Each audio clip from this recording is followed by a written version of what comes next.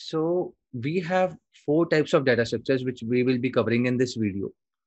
They are lists, dictionaries, tuples, and sets.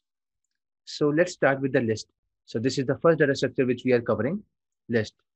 So lists are the mutable data structures that hold an ordered collection of elements. So what does this mean? Whatever the sequence you will put for each value, it will be constant. The sequence will not change unless you replace a value. It works same as that of an array in C, C++. So list is a mutable data structure with ordered collection of elements. It means now what is mutable? Mutable means changeable. So the elements can be changed, it can be updated and overall list will be affected. We saw in the last video that strings do not get affected. They are immutable, but lists are mutable. And this list data structure can be changed by changing a particular value in it. So let's begin. So in the first cell, you can see I have put this square bracket and I have put one, two, three, four. So these are the four objects in order. This order is constant now. Let's run this. So one, two, three, four is printed. Now again, if I do it for Boolean values, true, true, false, false, these values will be same as it is. Now let's define a student list with names A, B, and C. Let's say that there are three students A, B, and C, and that list is being printed. We can also find the length of a list by using this length function, which is an inbuilt function of Python. So it will be printing three. Why? Because there are three names, right? Let's say that these are the three names of the students. So three is being printed. The length of the list is being printed. So this is the empty list. Let's say you want to run a program. Let's say you are working with a for loop and the values will be updated and you want to store each value in a list. So initially you might want to have a empty list. So this is how you can define an empty list. Okay. Obviously you will have to give it a, in a variable name. Let's say a equal to this blank list. And then you can append every time within that a, the value will be appended from empty list to whatever amount of values you want to put into it. So let's say that we have a list prime ministers equal to this Dr. Manmohan Singh and Pandit Jawaharlal Nehru. So these are the two names initially I am putting in the prime ministers list. So if I append Shri Narendra Modi, this will be the third value within the list. Now if I print the prime ministers, so the prime ministers list is being updated, right? All the names are there. Now, if I implement a pop function with it, dot pop function, what it does, it prints the last value and also it removes it. So similar to stacks, in stacks, we remove the top element, right? And it is also removed. It is also printed. So two things are done. Similarly, if I use a pop function here, Shri Narendra Modi is being printed, but it has been removed from the list now. If you print the list now, it will be not having this name and it will have only initial two names which we have initially. So if i want to remove a particular value let's say i want to remove the first name. So what i can do is i can use this dot remove function right? Dot remove function with exact value. So if i do this the first name in the list will be removed in this case and only one name will be left. So this is how we manipulate this now, remember this. If I write this foo in foodie, it means that this string is being tested to be in this one. If it is matching, it will print true, else false. In this case, it will be true because FOO is present in foodie. Now, if I make a list of Sunday and Monday, right, days equal to list of Sunday and Monday.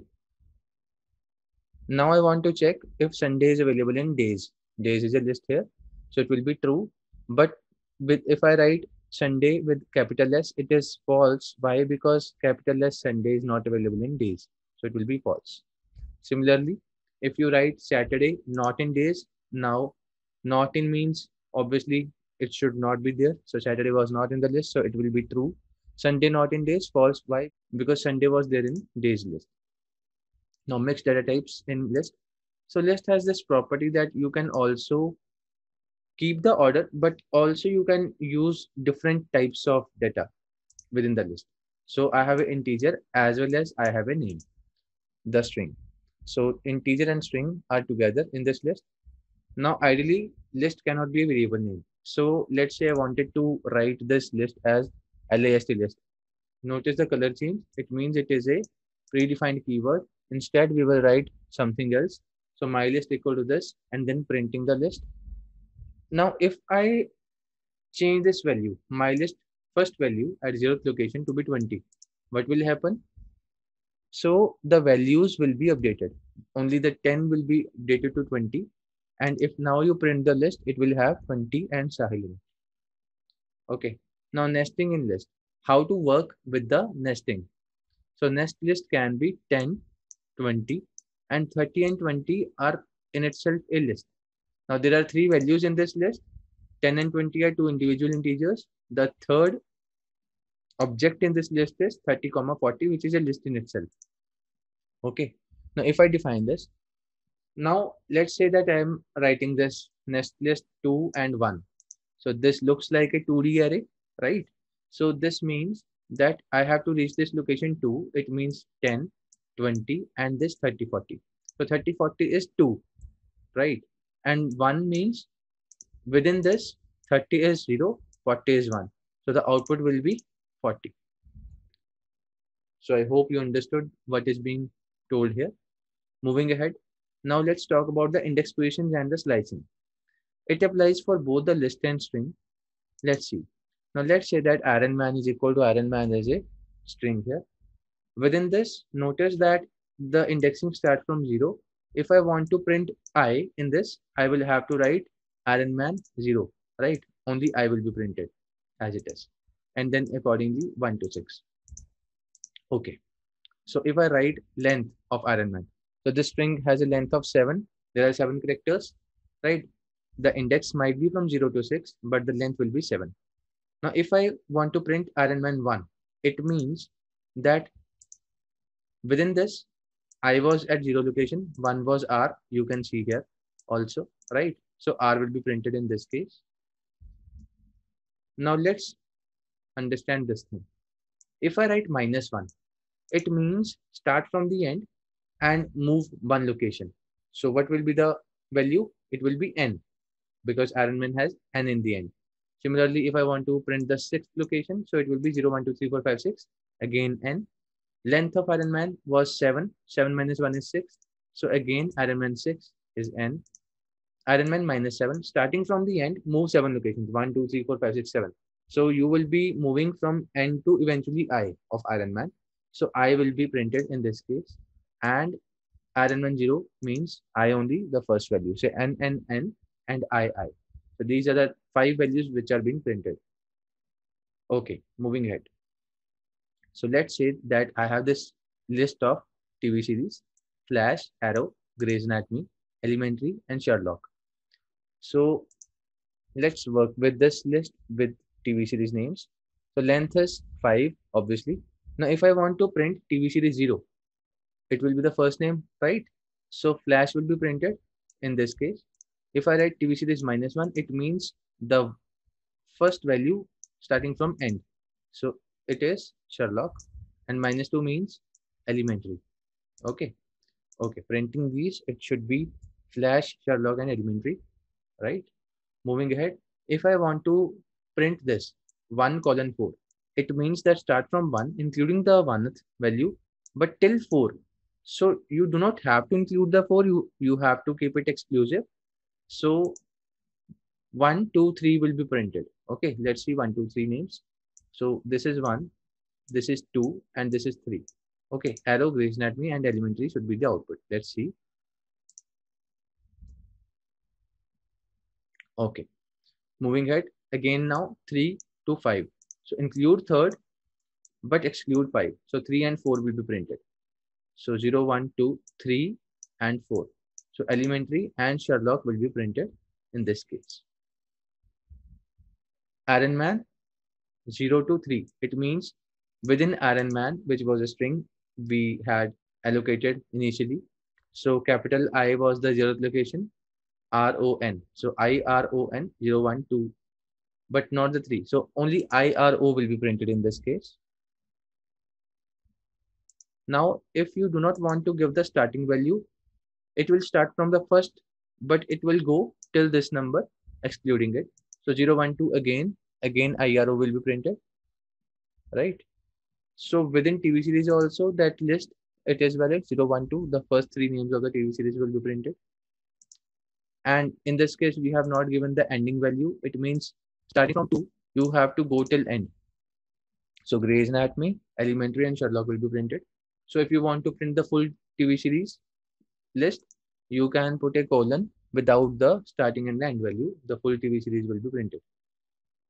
Now 2 colon minus 2. So 2 is the starting point, 0, 1, 2. Okay. And minus 2 is the end point. Minus 2 means minus 1, minus 2. So this is the endpoint. Obviously, you have you do not have to include this. So only this name will be printed. Let's see. Only one name is being printed. Now moving to the second type of data structure, dictionaries. So this is unordered. So in this, we have to work with the key value pair. I will just show the example. But in this case, unordered collection is there. So even when you have allocated five, let's say five names in the dictionary with key and value. If you print the full dictionary, it is not guaranteed that the sequence will remain same while printing. That is creating the associations between the two pieces of data. So we will see that how this key value pair works. So let's say that Rohit Sharma has his jersey number as 45. So this is a key value pair and this Rohit Sharma is the key value is 45. And obviously value can be same. Let's say that this was a case of a food menu in a restaurant. So let's say this was a rupee. This this was the price of a food. So 45 can be price of multiple things right? So value can be duplicate but key has to be unique okay so key must be unique and value can be repeated so let's generate this dictionary in which i have named it as jersey number I have taken four batsmen with their jersey numbers as key value pair. So let's define it. Now, if I print this dictionary, this will be printed. Right. So if I print the length of this dictionary now, it looks like eight values, but there are only four in dictionary because it is a key value pair. So key value is being considered as one. So length is four. So jersey number of Rohit Sharma will be printed in this case. But now if I want to print jersey number of Yuvraj Singh, obviously this name is not in the list. So there will be error. Right. So what to do now? Jersey number Yuvraj Singh equal to 11. Right. Okay. So let's do this one. So this key value has been added to the dictionary. Now if you print it, dictionary will not retain the order but there will be five names now. So MS Dhoni is the, at the top, but I did not put MS Dhoni at the top in the list. So initially this was at the fourth number. Even here, this came first. So yeah, the order is not being maintained. It's okay. Now, this has been added but uh, let's say that I realized that Yuvraj Singh's jersey number was not 11, it was 12. So to edit it, I can just write jersey number Yuvraj Singh equal to 12. That value will be replaced. 11 will be replaced by 12. Now, if I print it, it will be showing the number as 12. Okay. So this is how the key value pairs can be manipulated. Now, if I pop MS Dhoni out of the list, so it will be removing that key value pair from the uh, dictionary and it will also print the value not the key but only the value of that key.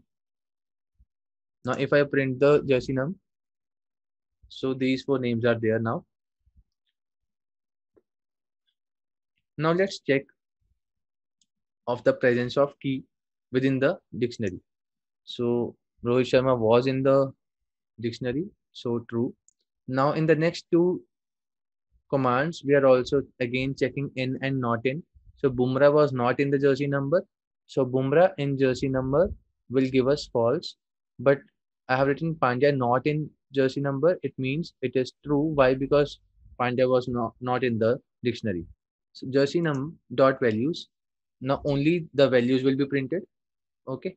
And if you want to check if that value is there, you can do it by using this jersey num dot values function. So 45 is there. So the answer will be true. Now let's move to the tuples. So tuples means that it works like a list and it is immutable. Right, immutable means it cannot be changed. The sequence value will not be changed and even it even the value cannot be replaced. So instead of square brackets, you can use this round bracket to generate a tuple. So t equal to 920, all the 10 values are there.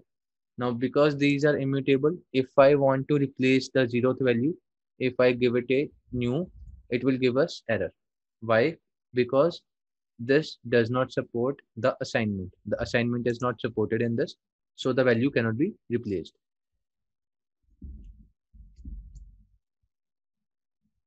Now let's move to the last data structure, sets. So these are the unordered set of unique elements. So in curly brackets, we have to give a set, right? So one, two, three, it is printed as, as it is. But in this case, even if I have put the duplicate values in it, then also it will give me only the unique values. So this is how sets work. Only the unique values will be taken. That's it. Thank you for listening. That's all for data structures in Python. In next video, we will be moving to the next topic. The code of this exercise is given in the description. The GitHub link will be provided. Thank you.